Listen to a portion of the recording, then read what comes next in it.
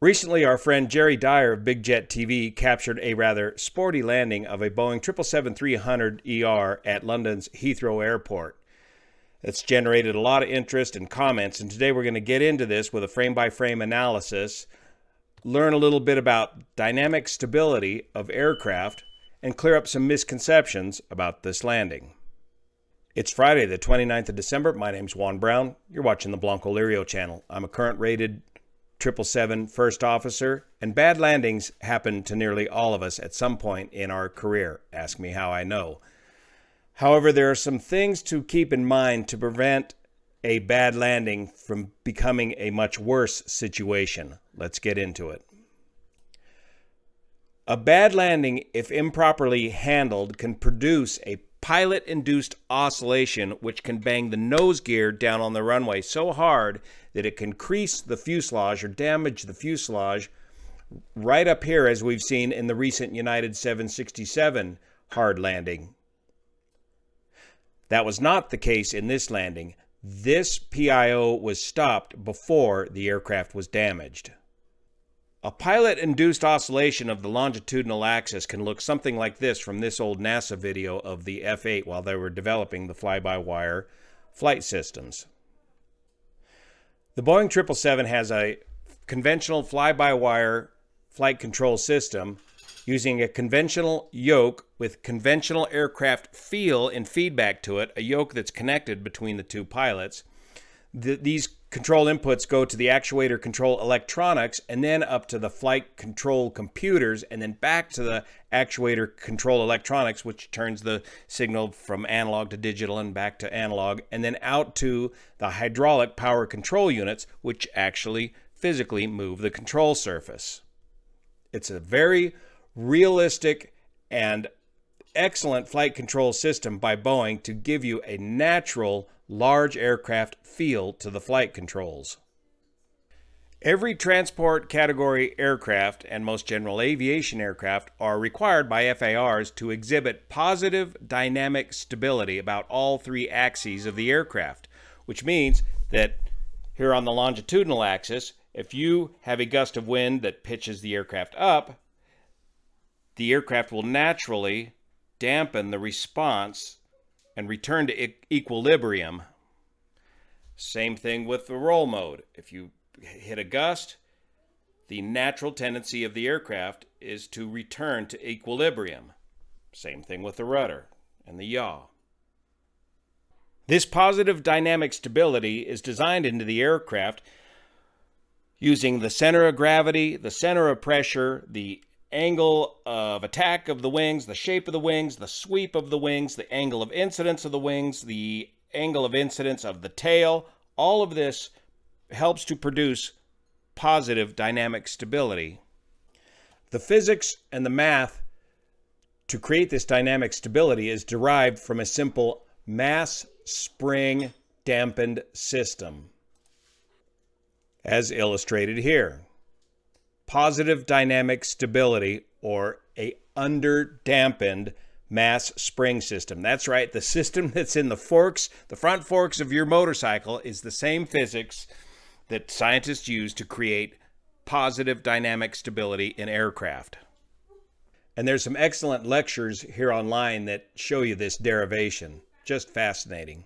So as long as the accelerating force or driving force is less than the restoring force, the aircraft will exhibit positive dynamic stability, or the mass spring system will exhibit underdamping characteristics. And both systems will return to equilibrium. However, as pilots, we can mess up this natural dynamic stability by putting in large control inputs at about the same frequency as the oscillation and just about 90 degrees out of phase. When we get into one of these situations, we tend to naturally react as humans, and that reaction is just delayed enough to make the whole situation worse and create what's called a phugoid or fleeing oscillation, where the oscillations no longer get smaller and smaller, they instead get bigger and bigger until at which point you end up whacking the nose gear on the runway and buckling the fuselage up here, potentially, if you do not stop this PIO or pilot induced oscillation. So instead of trying to continue to move the control surfaces to get them back into a phase opposite of that of the oscillation to stop the oscillation, it's much easier for pilots to simply stop moving the controls and instead hold a, in the case of a pitch, pitch oscillation, hold a set amount of elevator that replicates a normal landing attitude and allow the natural dynamic stability of the aircraft to dampen out the oscillations. So let's break this down frame by frame. Big shout out to uh, Jerry Dyer, the proprietor of Big Jet TV. Subscribe to his channel and look to the link below to watch the whole clip unedited from Jerry Dyer, Big Jet TV. Come over here for the big jets and stay for his hilarious narratives. Here comes the Boeing 777-300ER in from Los Angeles to landing at London Heathrow Airport on a gusty, windy day. The flaps are down, and note the leading edge slats are down as well. So as the jet flies past us, we'll be looking at the backside of these leading edge slats. All the way down to this point, the approach looks good. There's a little bit of um, turbulence there on the wings. You can see the wings bending a little bit, and now you can see the wingtip vortices coming off of the flaps, right off the end of the flaps here. Of course, there's also two giant wingtip vortices coming off of the wingtips as well. And I believe this is a left crosswind situation, so the pilot is doing well to keep the left wing down into the wind. But then right about in here, there is either a gust of wind, a wind shear, or possibly wake turbulence from the aircraft ahead of them. Remember, at London's Heathrow Airport, they're landing the aircraft. Just as soon as one aircraft clears off of the runway, the next aircraft is touching down. So just minimum wake turbulence separation. If, and if the winds are just right, that wake turbulence can definitely impact you, even a big, heavy Boeing 777. So not sure what the accelerating force is here, but it looks like it starts with a bat to the left wing down. Now again, we're looking below here at the backside of the leading edge slats. So right here, we see a little bit of left aileron input. Remember, as you apply left aileron, you also get the wing spoilers on that side to lower the left wing. The wing continues to drop. The pilot puts in right aileron control input now. The left aileron is down, the right aileron is up, and the flying spoilers are up on the right wing. The aircraft is not quite yet touched down. So right here with the right aileron input, we see a rather large up elevator input as well, which is going to induce a pitch up. Just as soon as the pitch up of the nose begins, we see a large elevator down input, again, just prior to touchdown. As the nose starts to come down, another, a second large up elevator input is applied followed by a down elevator input as the aircraft touches down. So here we again we have that second up elevator input, down elevator, which really gets that nose swinging down towards the ground. Let's see if we can slow that down. Here it is slowed down. There's the down elevator input, bounce, and that really gets the nose heading down. Up elevator input, down elevator input, just 90 degrees out of phase. But right in here, he does the right thing. He just stops moving the elevator and just sets it at that desired approach attitude setting and let the thing stabilize on its own using its own natural dynamic stability. Hold that elevator, just hold it right there. Little bit up, up, up, and bring it down. Good. Now, once the nose wheel is on the ground, everything's, it's all, the all the drama is over in less than nine seconds. Now you just ease the nose, the elevator down once the nose is on the ground to just keep the nose wheel on the ground so you can enable your nose wheel steering to be more effective, especially in uh, wet, slippery, windy, gusty conditions. By the way, here you can see all the ground spoilers deployed, automatic ground spoilers. All the spoilers pop up once the weight on the wheels is sensed.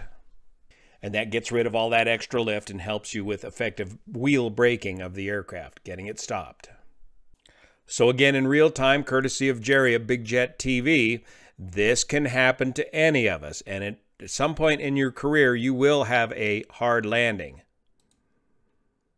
Everything looks normal. A little bat to the left, right, and then we start the PIO. Bam! Get the nose gear, and now hold it. Hold that elevator. Hold it. Just stop it and bring her down. Fortunately, apparently no damage was done to this aircraft. It was inspected for a hard landing. So why didn't the pilot go around? Well, it was a stabilized approach. All of this was over in a matter of nine seconds. Yes, you can go around after you touch down, even after the ground spoilers have come up, you can continue the option to go around all the way until that point which you begin to actuate the thrust reversers. Once the thrust reversers are out, the go around option is no longer available to you. But in this case, the bounce wasn't so high up into the air that the consequences of coming back down would have outweighed the possibility of going around. So the crew elected not to take this one around, and it was over in a matter of seconds. As a crew member, if you think you've had a hard landing, the best thing to do is to write it up in the logbook as a possible hard landing, and that will alert maintenance to go ahead and look at the data on board the aircraft to see if any exceedances were exceeded for example, the G limit for landing, and then they can determine the correct series of inspections that they need to make on the aircraft before the aircraft moves on to its next destination. In this particular case, apparently there were no exceedances, however, a hard landing maintenance inspection was performed on the aircraft. So, hard landings are a fact of life in a pilot's career. A hard landing that results in damage to the aircraft is still extremely rare on my uh, 777 hard landing experience, that happened uh, in my first 100 hours of flying the airplane. You know, that first 100 hours where you're where you don't know what you don't know, or maybe you think you know it all. Uh, in my case, I was uh, trying to minimize the amount of of uh, flare down the runway, minimize the amount of distance I used for the flare in the uh, runway, and it resulted in a late flare of the 777 coming into Miami, and and uh, Captain Dave over there in the right in the left seat. You know it's time to flare when the captain when his eyes get real big and his head comes back like this. And he just began to say something like flare when I just drove it right onto the runway with a minimum flare. Just bammo, kablamo. Um, and, but there was no bounce. Uh, the excellent suspension of the Boeing 777 absorbed the abuse, and we just stayed on the runway and rolled out. I went uh, on the. Um, well, I, I, asked the uh, flight attendants in the back there, did I drop any masks? Did I drop the rubber jungle? That's one of the first sure signs of a hard landing is if the masks fall out of the ceiling. And they reported back that no, you didn't drop the rubber masks.